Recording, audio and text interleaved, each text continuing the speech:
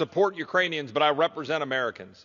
And Americans want to stand alongside Zelensky and push back on Putin, but they want us to do our job responsibly. And when I hear the majority leader of the other party say, quote, a time of war, when I sat with the majority leader in a rules committee meeting upstairs and he said, we're at war, and I'm wondering when we voted to go to war. If people, if we're going to have a proxy war and we're going to give $40 billion to Ukraine because we want to look all fancy with our blue and yellow ribbons and feel good about ourselves, maybe we should actually have a debate in this chamber, a debate in this body, because the American people expect us to do that.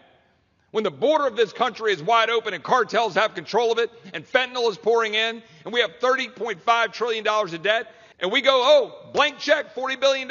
And by the way, I'm looking at my colleagues on this side of the aisle on that same point. The only bombs I want to see dropping right now are the truth bombs from Chip Roy. What a patriot.